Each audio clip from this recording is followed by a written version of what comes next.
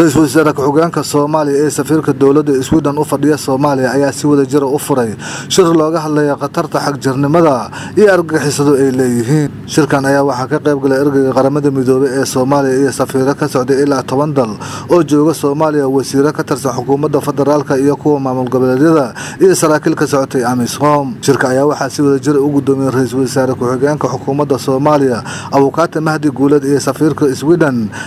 fon shirka ayaa intii u socda waxaa looga hadla sidii loo adkeyn lahaa ka xagjirnimada iyo arrimo kale. Ra'iisul wasaare ku-xigeenka xukuumadda soomaaliya ayaa sheegay in dowladda soomaaliya ay beesha caalamka kala shaqeyn doonto sidii loo adkeyn lahaa ka hortaga xagjirnimada iyo wax loogu yeero argagixisada. Is linked to the lack of economic opportunities which our government is taking great measures to mobilize domestic revenue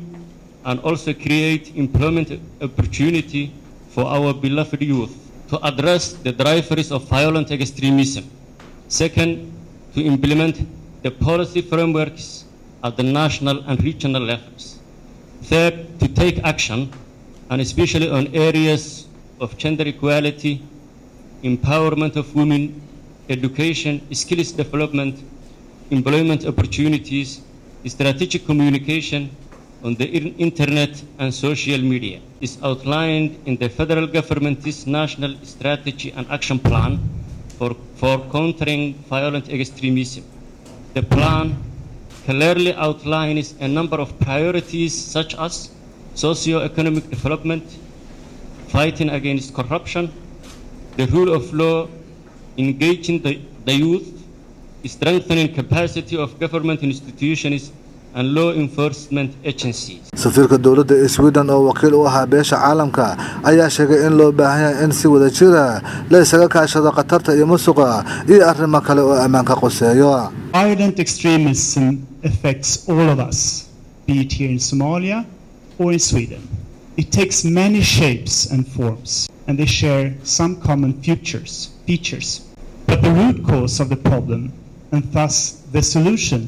is always context specific and cannot be generally addressed. Therefore,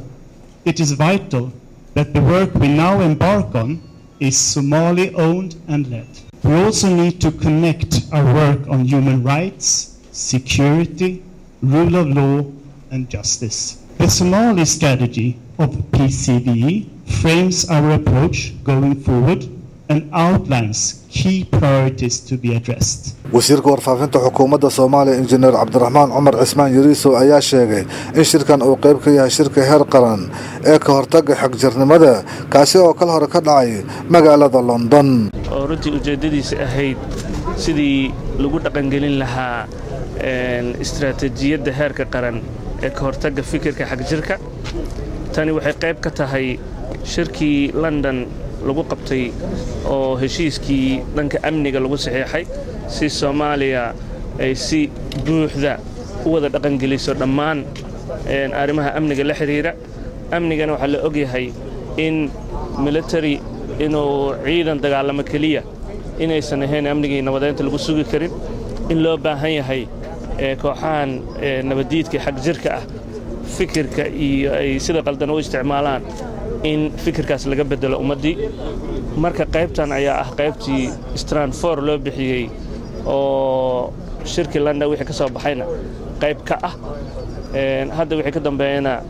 waxay noqonaysaa beesha caalamka iyo dowladda federaalka iyagoo iskaashanaya in ay dhaqan geliyaan istaraatiijiyadda heerka qaran ee fikirka hortagga fikirka xag jirka ah. Waxaana la rajaynaa in kulammada noocan oo kale ah oo beesha caalamka iyo dowladda inay muxuu ahaa dhici doonaan bishiiba mar. Sidoo kale waxaa jiri doona technical team oo ayagana kulmi doona si joogto ah.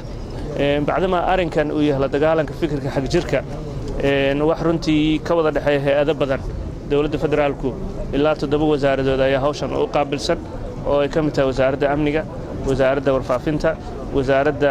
arrimaha diinta iyo awqaafta wasaaradda dhallinyarada wasaaradda haweenka iyo xuquuqul insaanka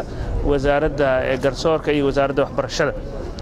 Dhammaan hay'adahaas ayagoo iskaashanaya oo ra'iisul wasaare ku-xigeenkana hogaaminayo ayaa la rajaynayaa in istaraatiijiyadaas la dhaqan geliyo. Maantana iclaaminta la iclaamiyo waxay ahayd in beesha caalamka iyo dowladdaba iska kaashanayaan. Muuse maxamuud jiisow magaalada muqdisho